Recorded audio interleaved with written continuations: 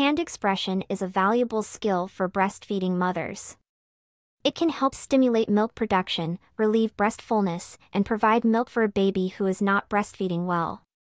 This article will guide you through the process of hand expression, offering tips and techniques to make it easier and more effective. Hand expression is the process of manually extracting breast milk. Unlike using a breast pump, hand expression is always available, cost-free, and doesn't require any equipment. How to hand express and breastfeeding. Step 1. Preparation. Before you start, make sure your hands are clean. Wash them thoroughly with soap and warm water. Find a comfortable, quiet place where you can relax.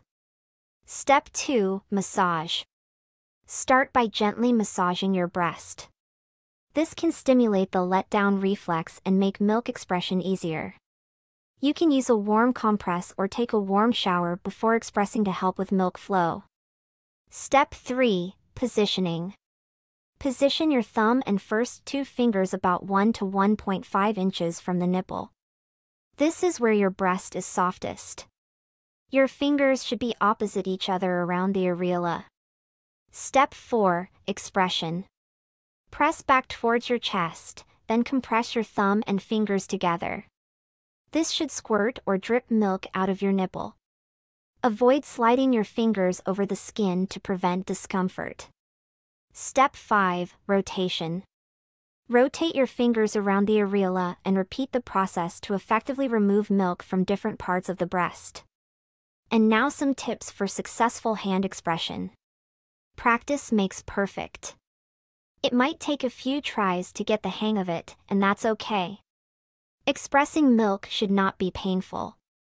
If you feel pain, stop and try repositioning your fingers. Hand expression can be done as often as needed. You can do it in between breastfeeding sessions or whenever your breasts feel full. So, hand expression is a useful skill that can make breastfeeding more comfortable and convenient. With practice and patience, you can master the art of hand expression and ensure a steady supply of milk for your baby.